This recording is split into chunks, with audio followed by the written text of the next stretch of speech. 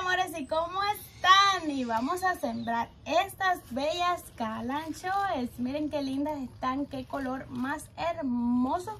Y recién van a abrir porque estamos pasando de la primavera al verano.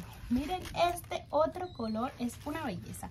Y me preguntan, ¿cómo cuidar las calanchoes? Bueno, las calanchoes realmente se cuidan súper fácil y eh, les gusta mucho el sol. Si usted les quiere poner al sol, perfecto, porque siempre van a tener flores. Algo súper importante también es el sustrato. A mí me gusta mucho este potting mix que es para flores. ¿Por qué? Porque me dura el fertilizante por unos seis meses y no le tengo que agregar nada. ¿Qué pasa? A los seis meses le puedes poner humos de lombriz, le puedes poner cáscaras de huevo, de plátano, todo eso ayuda que ellas vuelvan a florecer. Pero durante el verano ya van a ver. Miren los anturios, qué hermosos están todavía, cuántas flores tienen. Y ahí los mantengo, solo les da la iluminación del sol de la mañana. Acá también esto se mantiene súper bien. Miren qué bonito. Si no ha visto ese arreglo, pues pase a verlo. Y vamos a trasplantar estas hermosuras.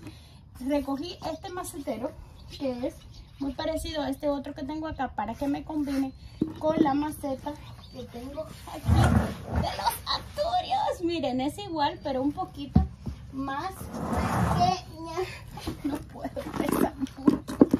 Entonces, ahora les voy a enseñar cómo es este sustrato. Miren, súper suave, no pesa, ideal para que drene súper rápido. Entonces, vamos a ir poniendo acá todo lo que podamos de sustrato porque la maceta es bien profunda. Vamos a ver si puedo.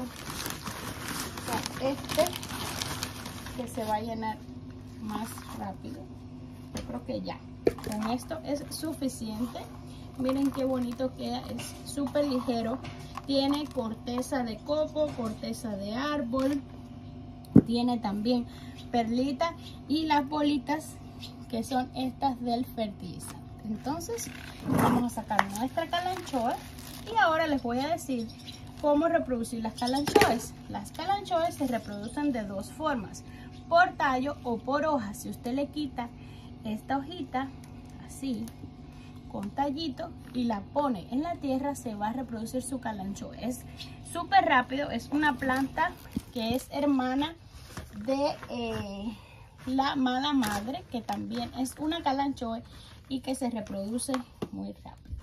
Vamos a echar más sustrato, más tierra acá, porque realmente nos falta un poquito.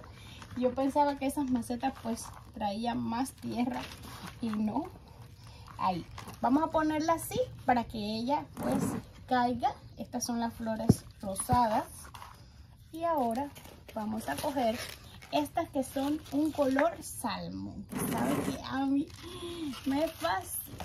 Después entonces vamos a sacarle unos hijitos para que usted también las pueda sembrar y reproducir en casa. Si anda por ahí y ve que, que alguien tiene una matita, llévese un hijito y van a ver qué maravilla le llevan un hijito y se lo siembran en su casa porque eso no es ningún delito. Entonces, acá estoy rellenando. Vamos a levantar esta un poquito porque al parecer esta es más grande que la otra, pero las quería combinar aunque la rosada no fuera tan grande. Después acá puedo ponerle eh, alguna que cuelgue o ustedes saben que ella crece muy, muy rápido la calanchoe. La verdad que sí, si usted le pone el sustrato adecuado.